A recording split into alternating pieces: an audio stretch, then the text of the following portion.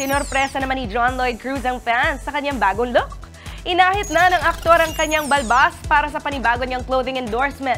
Halos kalahating taon na ang nakakaraan ang huling tumanggap ng endorsement si John Lloyd matapos mag-indefinite leave para sa baby nila ni Ellen Adarna.